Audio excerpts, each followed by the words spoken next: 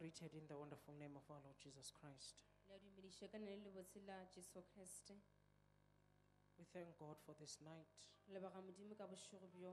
and we thank Him for His presence. mo leboga ka bogona jwa gagwe. He's a faithful God ke modimo wa go tshepega and He is here tonight. o gona fa bošegong bjo. We shall rejoice in this night re tlile go thaba mo bošegong bjo. and we shall be glad, for this is the night that the Lord has made. gobane jo ke bošego jo morena a bo dirilego We shall go to the Word of God re tlile go ya go lentšu la modimo in the book of Romans, chapter 8. go tšwa go buka romans 8 We start from verse 35 re tlile go thoma go kgaola 35 until the end. go fitlhelela mafelelong I'm reading from the NIV.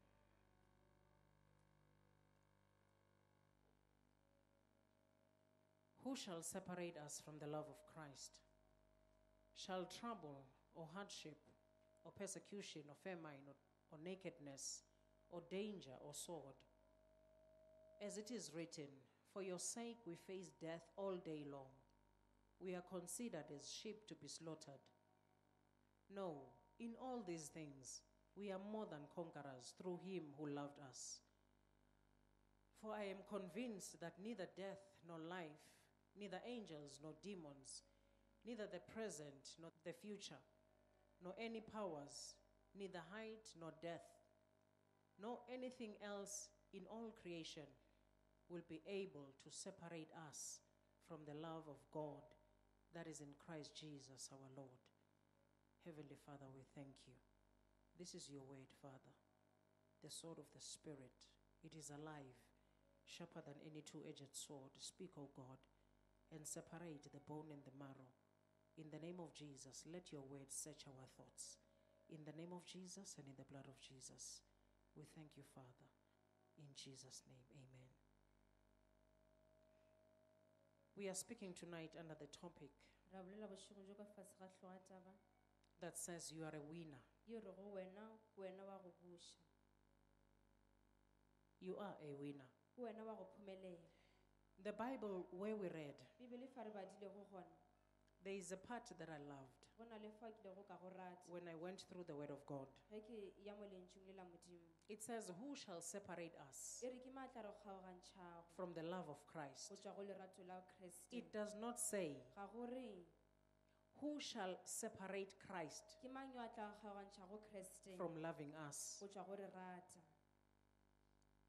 But who shall separate us yo a ka re kgaogantšhago from the love of Christ? go tšwa go lerato la kreste All these things that have been mentioned in the Word of God, tše ka moka tše di buletšwe go lentšung la modimo they have the potential di na le bokgoni to separate us ka gore di re kgaogantšhe from the love of Christ, tšwa go lerato la modimo not to separate Christ seng go kgaogantšha kreste from loving us. tšwa go re rateng He always loves us. o phela a re rate But these things that have been counted here gomme tše di badilwe go fa nakedness, go hunger tlala you can name them. O ka di bolela ka moka These things are capable tše ka moka di a kgona of separating us gore kgaogantšha from the love of go Christ. tšwa go lerato la kreste They, they are capable di a kgona of moving us go re tloša away from Christ, go tloga go kreste but they do not cause gomme ga di dire or they don't keep Christ kapa ga di bee kreste from loving us. If you are a child of God gore ga e le gore o ngwana wa modimo and you live a righteous life, o phela bophelo jwa go loka you, your life is blameless. bophelo jwa gago ga gona molato You do no wrong. ga o dire phošo. But even if it can happen that you do something wrong, le ge o ka diega gore go na le tše di fošegetšego o di dirago but you repent from that gomme wa sokologa go tšo- go tšwa go tšona. and you never go back to it, wa se sa boela go tšona. Just like King David, jwale ka kgoši tafeta this matter needs you to repent taba hloka gore wena o sokologe. wholeheartedly. ka pelo ya gago ka When you repent ge wena o sokologa and you never go back to it, o se tlo sa boela morago go yona. Know this tonight. Tseba se bošegong you are an overcomer, gore wena o mofenyi you are a winner. wena wa phumelelago. Praise the Lord. ga morena a boko. All you need to do, tše wena o tshwanetse o di dire once you realize that you have sinned against God, ge o lemoga gore wena o dirile dibe kgatlhanong le you need to repent. o tshwanetse o sokologe. When you make the Psalm 51, ge o dia ya mangwalo a pisela It must not just be a poem for you. ya no ba se e le gore ke setlwaedi go bolelwa You go must wena. do it with a sincere heart. o die ka pelo ya gago ka moka ga You yona repent wena o sokologe and you don't do it again. o o sa dia ka mokgwa oo But if you repent, gomme ge o ka sokologa I don't even want to call it repentance. ga ke nyake go bitša go sokologa Because when you repent, gobane ge o sokologa it is when you realize you're wrong. ke mo lebogago diphošo tša And then gago you, you, you ask for forgiveness from God. wa kgopela tshwarelo go tšwa go And you don't do that wrong again. wa sehlo se o sa dia phošo yeo gape. Ever. o e That is dira. repentance. goo ke go sokologa Once you do that, ge o šetše o dia know seo that you have overcome. tseba gore o You fentše are a winner. wena yo o phomeletšego Now, when you are a winner, ge wena o le yo o it doesn't mean that you will not have challenges in life. gore o ka se be le meleko bophelong You will have o challenges. tlile go ba le yona meleko e Challenges will come. meleko yona e tlile go tla But you need to know gomme o tshwanetse o tsebe that when you, you cross, you come across that gore ge o gatlhana le tšeo and you stand by the word of God, gomme wa ema wena ka lentšu la modimong you become a winner. o ba yo a go phomelela You need to know that o tshwanetse o tsebe gore no one can be called a winner ga gone ka bitšwago wa go if you have never come across challenges. ge o wa gatlhana le meleko We can't call you a winner. re ka se go bitše wa go We can't call you an overcomer kapa mofenyi if there is no challenge ge go sena that you have moleko gone through. yo o le go wa gatlhana You need to go through a challenge. tshwanetse o gatlhane le meleko Then we will know jale ge re tlile go tseba that you have overcome. gore o fentše If there is no challenge, ge go sena meleko. you can't say you are an overcomer. ka se re wena o mofenyi. You must first go through a challenge o tshwanetse o sepele gare ga moleko pele. and you overcome. o fenye. Many people that are in high positions, ba bantši batho ba lego kwa maemo a godimo. children of God, bana ba modimo. that are in high positions, ba ba lego maemong a they will godimo. tell you ba tla go botša that it was not easy to get here. gore kgale go se bonolo go fihla because they've gone through challenges. gobane ba ile ba gatlhana le meleko And I am talking about children of God ke bolela ka bana ba modimo. that have sincerely gone through challenges. Ba belego ka nnete ba lego ba gatlhana le and they have received their upliftment. ba amogela go emišwa ga bona. I am not talking about people that have money ga ke bolele ka batho ba nago le and have manipulated the situation bona ba fetotse go diemo in order for them to get to the top. gore bona ba kgone go fitlhelela kwa I am godimo. Talking about children of God ke bolela ka bana ba modimo. that have gone through challenges ba ba lego ba gatlhana le melekong. and they have overcome ba fenya. and they held on to ba Jesus go jesu. and they found themselves in those high ba positions. mo maemong ao a godimo You are a winner. wena o wa go phomelela If there is something that is still bothering you, you need to know this. o tshwanetse o tsebe You must overcome it. O tshwanetse o se fenye. So that you are called a winner. gore wena o bitse wa go phomelela You cannot be called a winner. O ka se bitse wa go if one and the same sin ga le re sebe sa go swana. keeps on making you fall down. se tšwela pele se go dia gore wena o wele fase. If what, when that situation happens, ge seemo seo se direga. it, be, it means you have become a slave go raya gore wena o šetše le lekgoba. to that which makes you fall every time. Seo diang gore o phele o ewa ka dinako You need to repent. O tshwanetse o sokologe. And never do it o again. sehlo o sa dia ka Once you do that, ge fela o ka dia then you have become a winner. o tlile go ba ba go phomelela I want to take you back to the children of Israel. ke nyaka go bošiša morago go bana ba iseraele. When they were faced with challenges, ge ba be ba gatlhana le meleko. Especially when they were faced with the Philistines, kudu ge be ba gatlhana le mafilisteine this was one nation ye kgale le setšhaba. that was a big problem to the children of e Israel. kgale e le bothata go bana ba iseraele. The Philistines. You may be faced with Philistines in your life, o ka bo gatlhana le bona but I want to tell you something tonight. Gomme ke nyaka go botša sengwe bošegong that there is help on its way. gore go na le thušo e lego tseleng Because the Word of God says, gobane lentšu la modimo le if you read the Word of God ge o bala lentšu la in the book of First Samuel, go tšwa go buka first samuel. chapter 17, kgaolo ya 17 children of Israel, bana ba iseraele they were always faced with this challenge kgale ba phela ba gatlhana le diemo until somebody came along, go fihlela motho yo mongwe a fihla and that was David. o kgale ile ya ba tafita. When David came to the picture,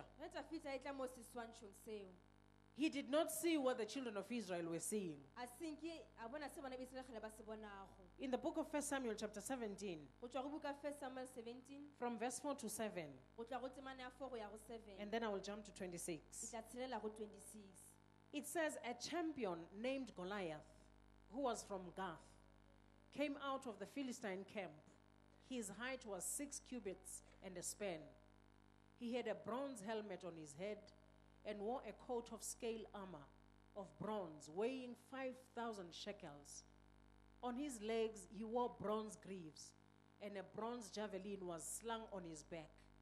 His spear shaft was like a weaver's rod, and its iron point weighed 600 shekels. His shield bearer went ahead of him. Verse 26.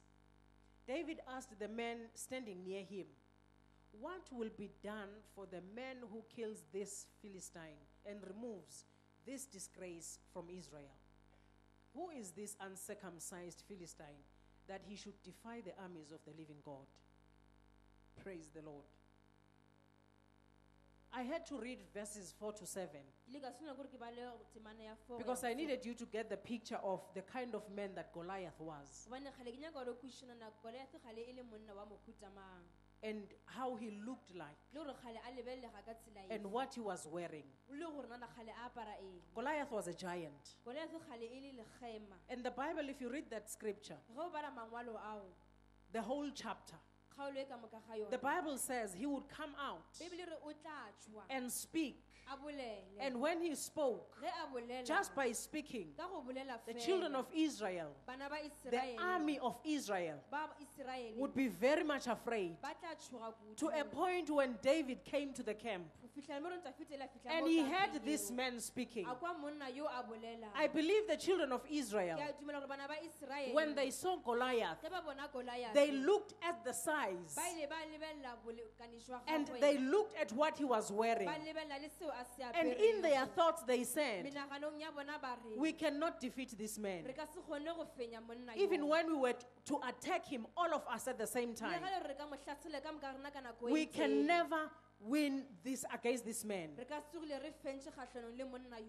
Re ka se tsogile re fentse kgatlhanong le monna yo That is what they were seeing. ke seo kgale ba se They were looking at how big this man was. lebeletse na monna yo ke yo mogolo You may be seated here tonight. o ka bo dutse fa bošegong You are looking at the challenge you are faced with. lebeletse moloko o gatlhana go nago. You look at how big the situation is. o lebelele na seemo se ke se segolo But let me tell you something. Gomme ga nke ke go There is no challenge ga gona moleko that you are going through yo o gatlhanago that is bigger than God. o leng yo mogolo go feta Modimo. When David came to the camp, Ge tafita fihla mo he wanted to know, kgale a nyaka go tseba. looking at all these big men in the war, lebeletše bana bagolo fa mo lefa- when, when this man was talking, Goliath, ge monna yo Goliath a ebe a bolela they would all draw back. ka moka kgale ba tla boela morago And David was looking at them Dafita kgale a ba lebeletše and looking at this Goliath. a lebeletše Goliath He did not see what they were seeing. It depends on what you are seeing at that moment. mona wena o bona eng ka nako And let me tell you something. A nke ke go botše se Whatever that you are seeing in your challenge, se wena o se bonago mo molekong o that is not what God is seeing. Ga se se modimo yena a se bonago. God is seeing his child modimo yena o bona ngwana wa becoming a winner A eba o a over whatever situation that you see. Godimo ga seemo se wena o It doesn't matter Ga gona taba. how big it may seem before your eyes, se bonagala se le se segolo jwang but before the gago. Eyes of God, Gomme pele ga matlho a modimo. It is nothing. ga se selo. David asked, dafite o le a botšiša What will be done a na go tlile o diriwang? for the man go monna yoo. that will remove this shame? a ka tlošago ditšhišo ditlhong tšhe It's like I can see this young boy. o ka re ke a mmona It is, it is a boy yo. ke mošimanyana fela. against this giant kgatlhanong le legema le because that is what the children of Israel saw. gobane ke se bana ba Israele kgale ba They saw a giant. ba ile ba bona legema And David did not see a giant, dafite ena a senke a bona he just saw something, o ne o bona se sengwe. Something that is bringing disgrace se tlišago tšhišo ditlhong. to the children of God. go bana ba Israele. And he said, Who is this Philistine? o ile a re ana ke ma mofilistine yo? Uncircumcised yo a sa circumcisewang that defies the armies of the living God. Yo a tlotšwago ditšhila bahlabeni ba modimo It's like I can imagine the anger that he felt inside of him. o ka re ke a go nagana go befela go a lego a bokwa ka gare ga How, how do you dare touch the children of God like this? a na o leka jang go kgoma bana ba modimo ka Who do you think you are? o nagana gore o mang You are nothing before God. ga o selo pele ga modimo That is why David wanted to know ke ka go tafete kgalanya what, ka go tseba what will be done gore a na go tlile go for the man who removes this thing.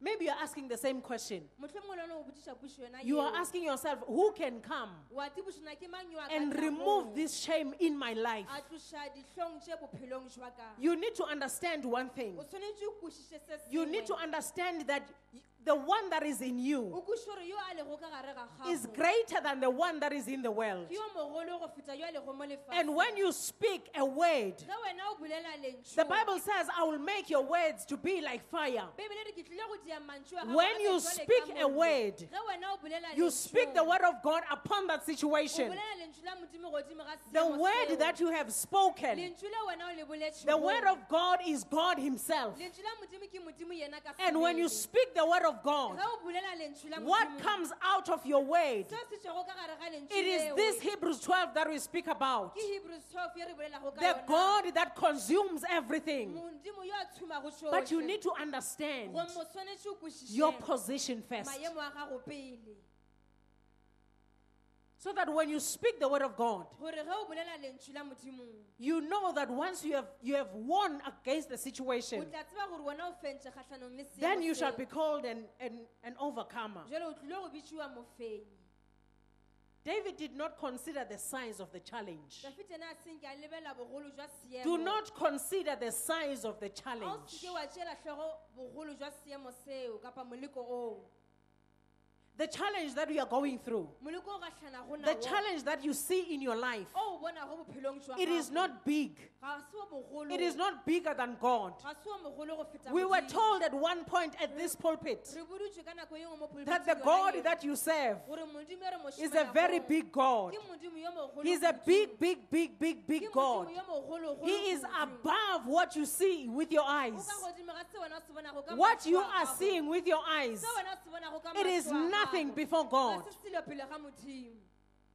You need to understand that. Because what happens is, when the challenge is before you, the devil then brings magnifying glasses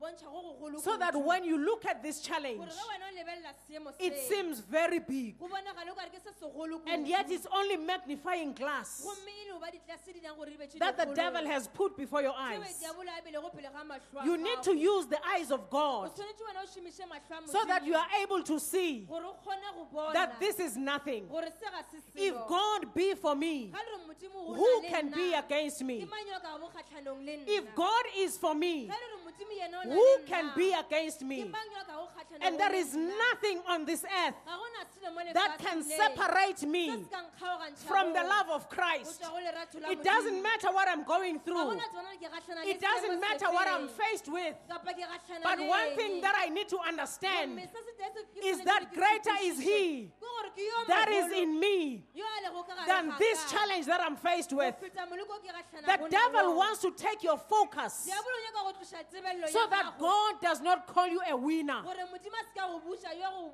pho- Praise the Lord. Amen. You are a winner.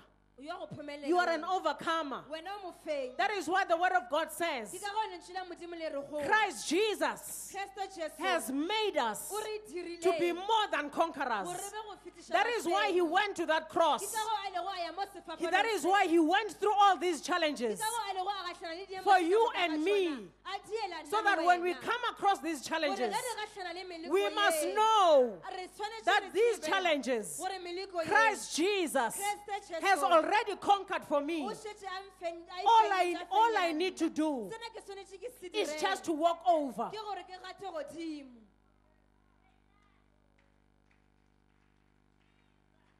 You just need to walk over.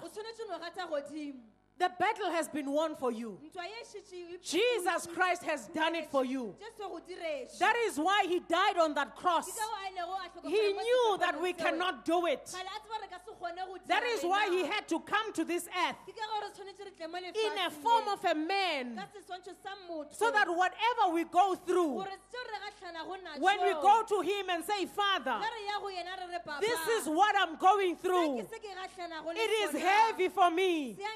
Se a nkimela. I can't take it anymore. ke sa kgona. That is why the Bible says Ke ka goo Bibele he understands because he's been through it already. le yena o šetše a fetile fao You are a winner. wena wa go phomelela You just need to understand o tshwanetse o kwešišeng that you are a winner gore wena wa go phomelela as a child of God. ka ge o le ngwana wa modimo You will come across challenges. o tlile go gatlhana le meleko And some of these challenges, ye mengwe ya meleko e they will look as if e tlile go bonagala o ka re they are so far beyond your strength. Ke ye kudu go fetiša matleng a You will feel they are far above you. o ko ka re ka godimodimo ga gago And when a challenge is above a person, ge meloko le ka godimo ga mothong or when they think the challenge is above them, kapa ge ba nagana gore go ka mokgwa you o will hear by the way they will speak. o tlile go ka mokgwa ba bolelago ka The gona first question that they will ask God sa mathomo puše ba tlile go botsiša modimo will be why? ke re gobaneng Why? gobaneng And if I were to hear you, ge nka go kwa. Or if I can hear God, kapa ka kwa modimo. When you say why, ge o re gobaneng I believe He would say, why not? ke a dumela o tlile gore gobaneng go se jalo When you are asking Him, why, Lord, why? gošana gobaneng morena? He is saying, why not? o re gobaneng go tla sebeke Because I have given you power, gobane ke go neile I have given you authority. ke go neile taolo. How will you know that I have given you this authority Ana o tlile go tseba jang gore ke go neile if you do not go through these challenges? Ge wena o sa gahlane le So that the power that I have given unto you, gore maatla ao ke go file you will then begin to use it. o thome go wa šomiša. Then you become an overcomer. wena o be mofenyi. If you are still asking why, Lord, Ge o sa bušana na gobaneng you will not become a winner. o ka se ba go phomelela You must go through o swanetše o fete and win. wena o phomelele. Then you are a winner. Jwale ge o mophomeledi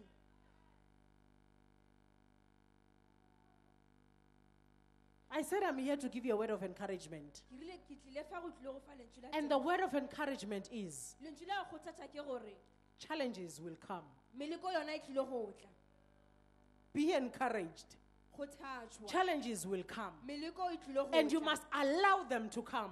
O itumelele gore e tle Because there is a word of comfort in the word of God. go na le lentswe la kgothatšo lentsweng le la First Modimo. Corinthians chapter 10, First Corinthians 10 verse 13.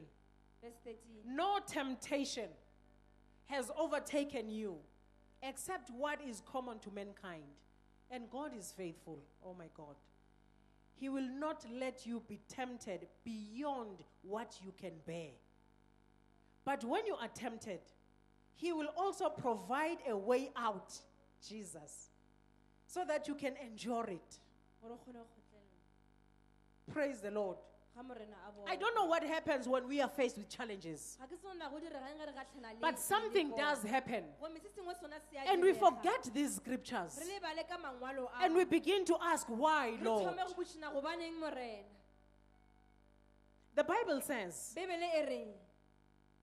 He will not let you a ka se go tlogele be tempted beyond what you can bear. o lekwa go fetše seo wena o ka kgonang go se He even said, But when you are tempted o la re ge wena o lekwa and you feel that it's beyond what you can bear, o ekwa gore go fetiša mo one o ka kgona go He will also provide a way out. o tlile go go tliša tsela ya gore o tswe fao He will Yeah. provide o tlile go tliša a way out. tsela ya go You just need to be able to see that way o out. tshwanetse no kgona go lemoga tsela eo ya Because go there is a way out. gobane tsela ya go tswa yona e gona There is a way out. tsela ya go tswa yo- yona e gona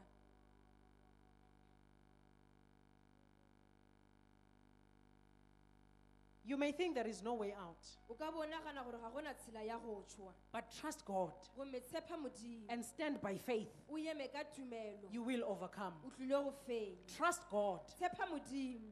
The challenge with us bothata ka rena. is that we want to trust ourselves. ke gore rena re nyaka go te tshepa. Trust God.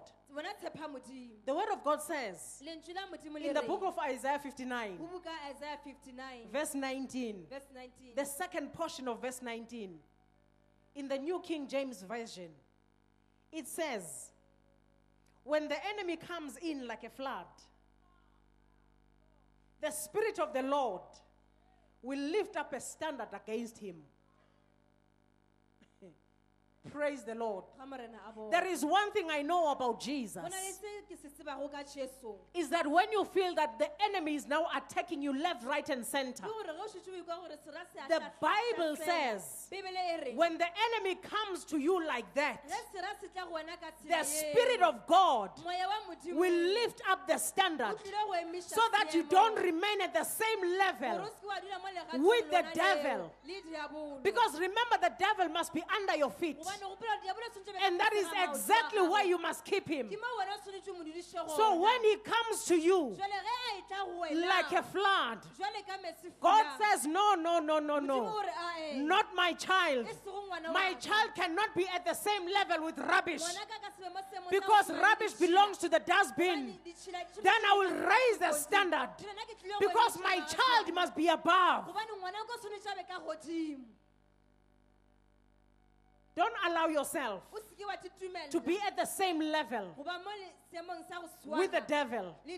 That is not where you belong. ga se mo o tshwanetse go ba That is not your place. ga se lefelo la gago leo That is why the devil eats dust.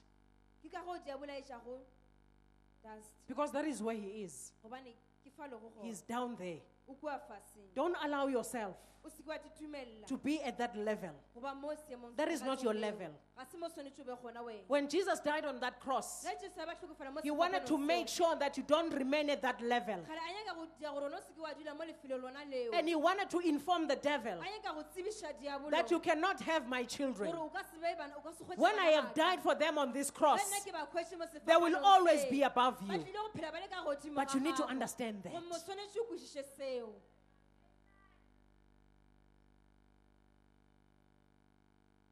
Gore mo tshwanetse o kwešiše seo Deuteronomy 20, verse number 4. It says, For the Lord your God is the one who goes with you to fight for you against your enemies. For you to be here tonight, gore wena o be fa bošegong you don't even know how many traps the devil had for you. tsebe na diabolo o ile a beela tše dife For you not to be here tonight.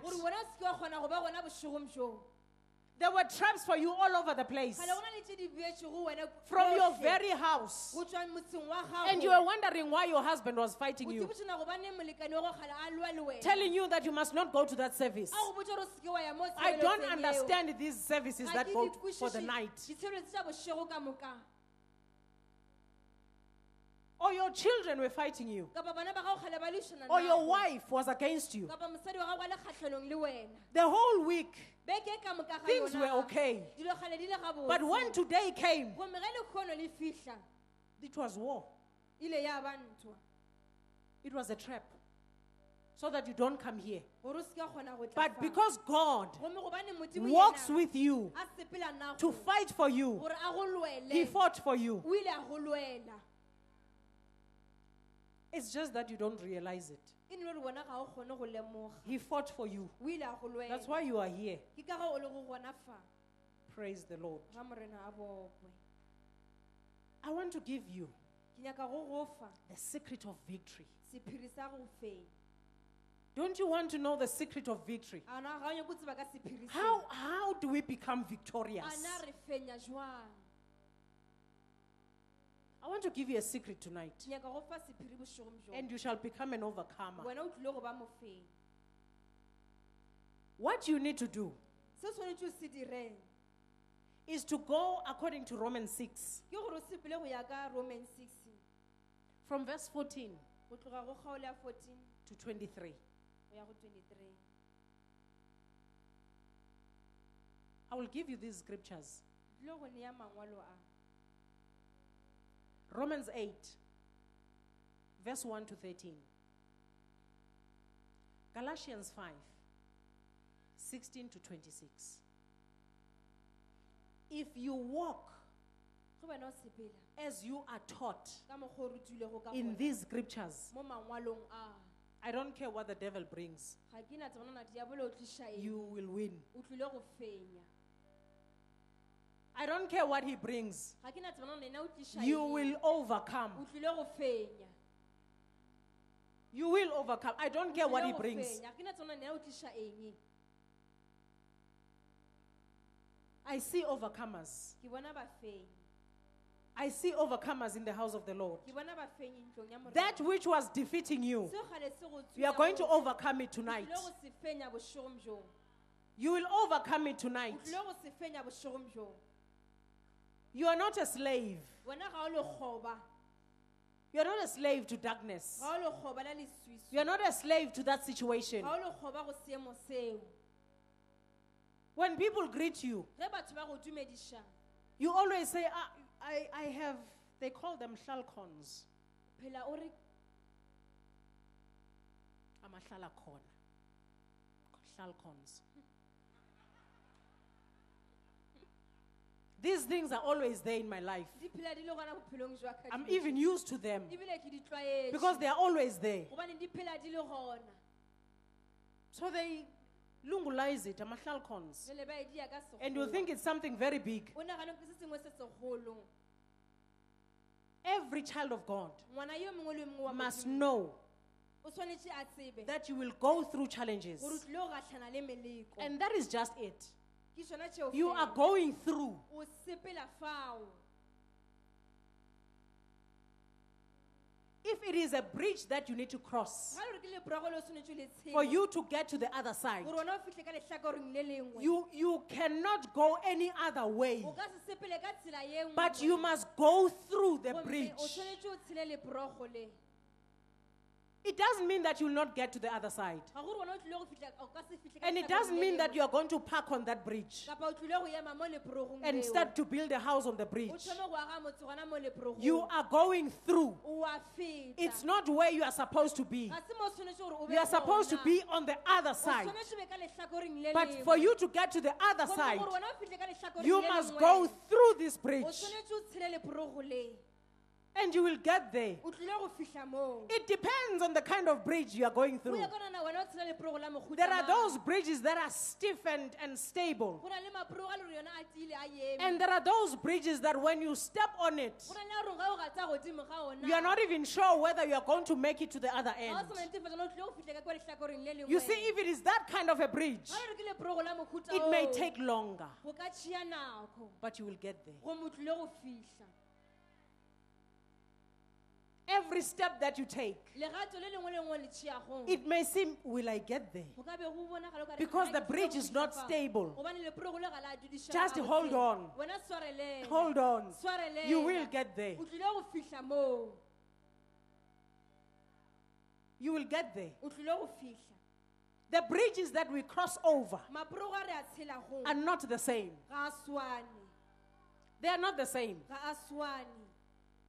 Ga a swane And the length is not the same. le botelele jwa ntshe ga bo swane It depends on where you are going. go ya ka gore nana wena o ya kae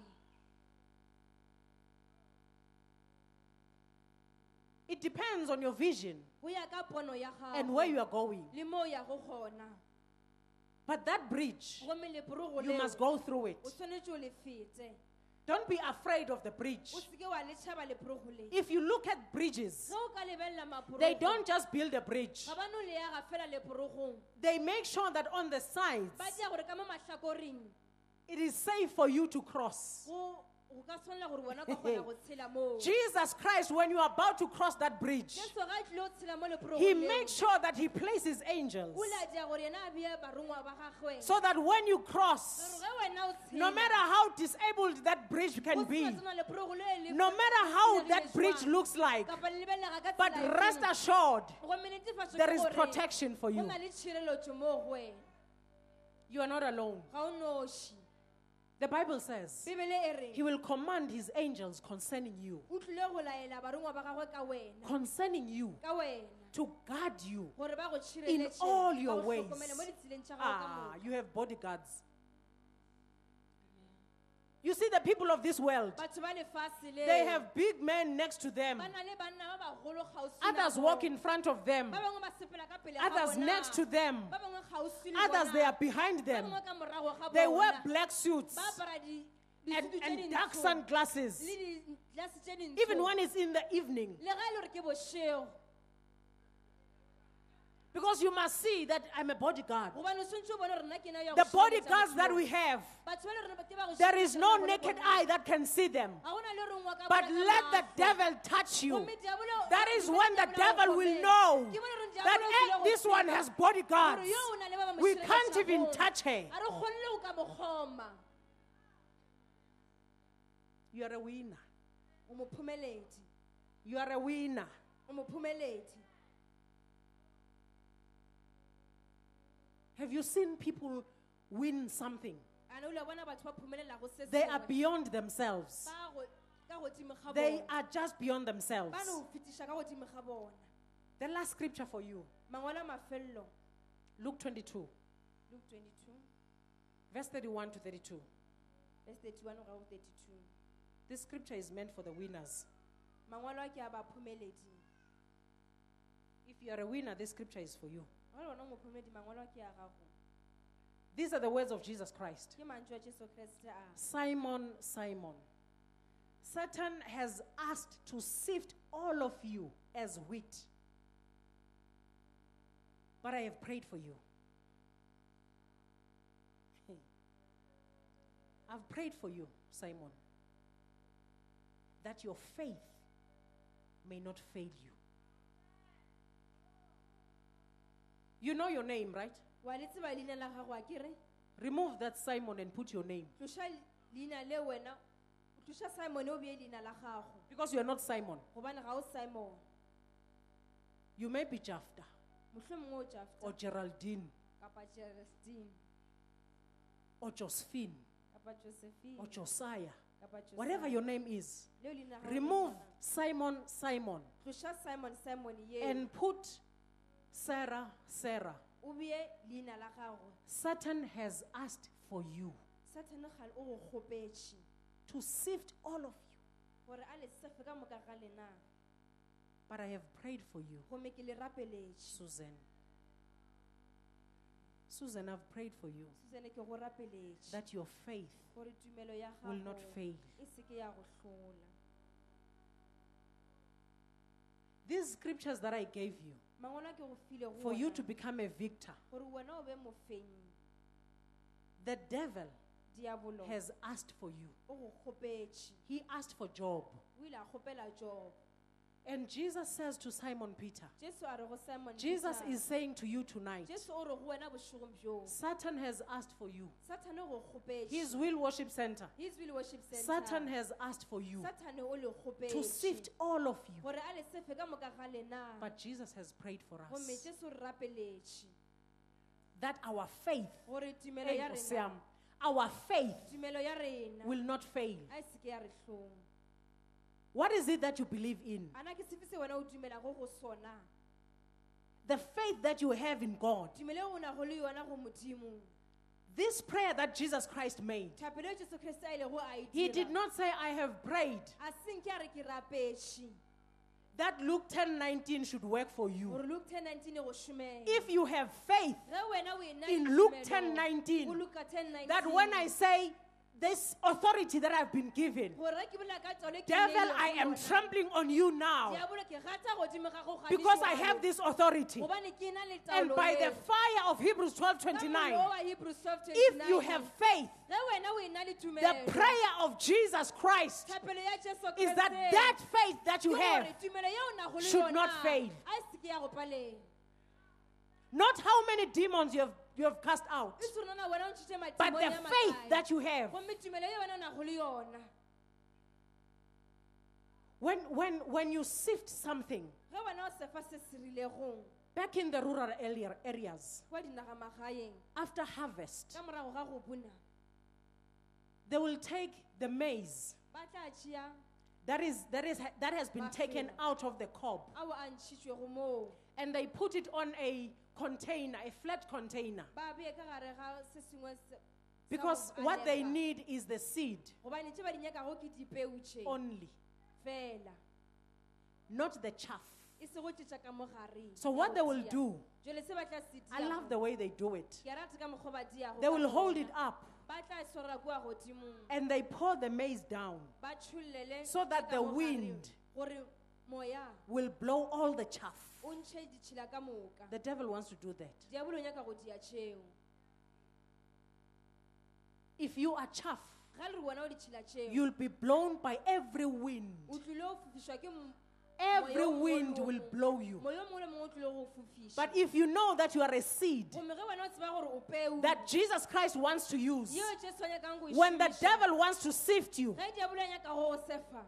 ge diabolo a nyaka go go sefa you will make sure that you stand. o tlile go dia gore wa ema I have prayed that your faith gore tumelo ya gago will not fail you seke ya go hlola because you are a winner. gobane wena wa go phumelela You can't win if you don't have faith. o ka se phumelela ga le gore wena ga o na tumelo We are going to pray. re tlile ya go rapela We are going to make a prayer re ya go dia thapelo of a winner. ya wa mophumeledi If the devil had defeated you somewhere, ga le re diabolo go fentše go gongwe you take back your armor o tšea ditlhabani tša and you rise up again. o eme gape You remind the devil that, listen here, stupid devil, gore theeletša fa wena diabolo wa I am the winner here. nna wa go phumelela You are supposed to be under my feet. tshwanetše be ka fase ga maoto This challenge that you have brought to my life, meleko o tlišego if you think it will take me from the love of God, go nagana gore tlile go ntšha lerato you have another thing coming. O na le se sengwe se Because se there is nothing, Gobane ga gona and I mean nothing, Ke ra gore ga that will separate me se se ka nkgaotšago from the love of Christ. go tšwa go lerato la There is nothing that will separate me. Remind the devil